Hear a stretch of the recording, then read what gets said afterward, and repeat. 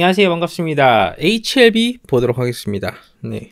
오늘 HLB 흐름 좋았죠? 네, 지금의 flow와 흐름과 그 어떤 분이 질문을 주신 게 하나 있는데 그 에임이라는 기업 관련돼 가지고 뭐 뭐 이제 문의 주신 분들도 계셔가지고 그런 부분까지 체크를 한 번씩 다 어, 총괄적으로 오늘 한번 해드리도록 하겠습니다. 오늘 시장 대비 뭐 굉장히 강한 흐름을 보여줬던 우리 HLB이기 때문에 다들 뭐 그렇게 크게 걱정은 없으셨을 거라고 생각을 해요. 음, 자 보도록 하겠습니다.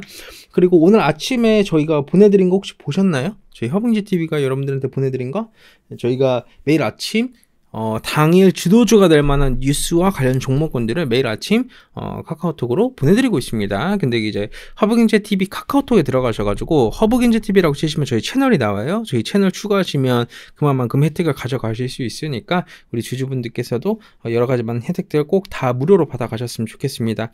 저희가 여러분들 투자에 성공을 위해 많은 노력을 하고 있어요. 왜냐하면 저희 저희가 생각하는 우리 허브인제 TV의 성공은 어, 여러분들의 투자 성공입니다. 왜냐하면 그 정보를 제공을 하는 이런 투자사의 경우에는 언제나 그랬듯이 우리 고객과 클라이언트의 성공이 우리의 성공과 직결되는 거예요. 그래서 저희는 그런 부분에 굉장히 많은 포커스와 저희 인생을 사실 갈아넣고 있습니다. 그만큼 많은 노력을 하고 있으니까 여러분들께서 누릴 수 있으실 만한 그런 혜택들 저희 허브인제 TV가 이렇게 많은 노력을 할 때 여러분들이 많은 꿀을 빠셔라 라는 말씀, 드리도록 하겠습니다. 꿀 빠는 거 어렵지 않잖아요. 그쵸? 네? 자, HLB 보도록 하겠습니다.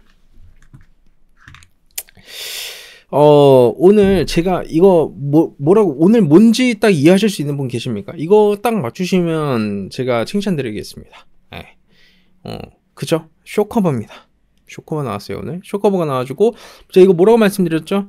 어, 계단식 하락이 보인다라고 말씀드렸죠? 계단식 하락이 보이는데 어떤 가격을 돌파해야지 의미가 있다라고 말씀드렸죠? 41,200원을 돌파해줘야 돼, 돌파해야지 의미가 있어요. 지금 낙폭 과대성 반발 매수세가 short cover로 들어가줘서 반등이 세게 나와준 거예요. 다른 종목들 이렇게 안 올라갔어요. HLB만 HLB와 셀트리온스케트 바이오 쪽에 short cover가 강하게 나와준 겁니다. 이런 부분을 좀 명심하셨으면 좋겠고요. 오늘 에임이라는 기업 관련돼서도 제가 코멘트 살짝 드리자면 어떤 분이 그랬어요. 어, 에임이라는 기업이 지금 거의 뭐 공장이 하나도 안 들어간다.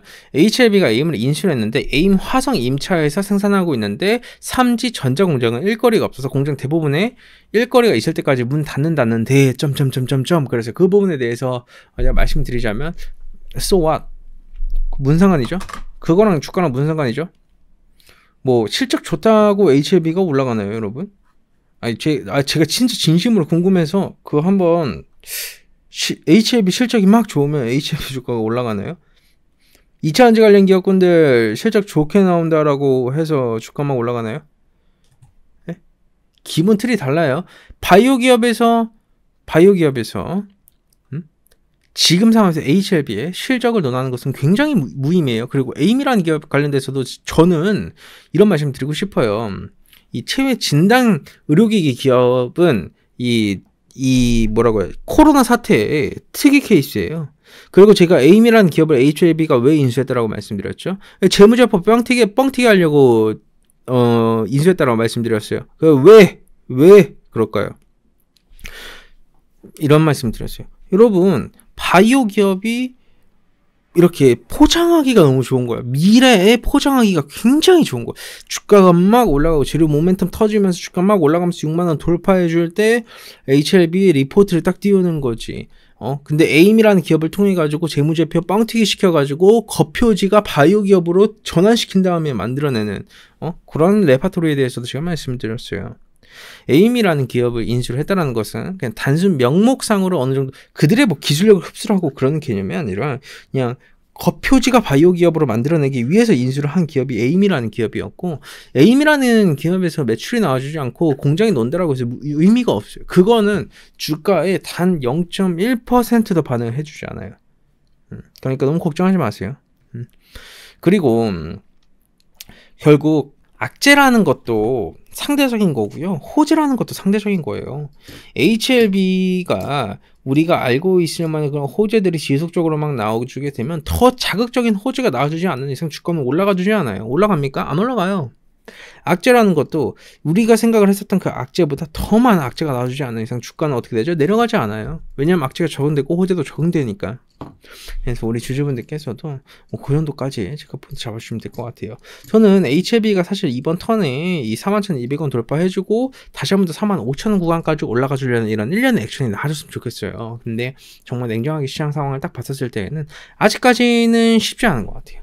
예, 아직까지는 저는 추세 전환공이 나와주지 않았다라고 보여지고 있고 공매도를 쳤었던 이들은 지금 같은 시점에서 슈커버를 해나가면서 수익 충선을 하고요.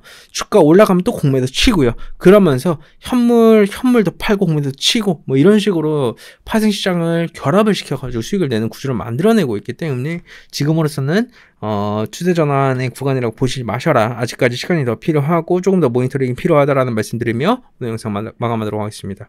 좋습니다. 여러분들 수고들 많으셨고요. 서 두에 말씀드린 것처럼 저희 카카오톡 채널도 꼭 추가하셔서 여러분들 누릴 수 있는 모든 혜택들 많은 도움들 꼭 받아가셨으면 좋겠어요. 저희가 어 이제 3분 허브 리핑도 드리고 무료 추천 종목도 드리고요. 이벤트도 제공해 드리고 허브 아카데미 기초 강의도 드리고요.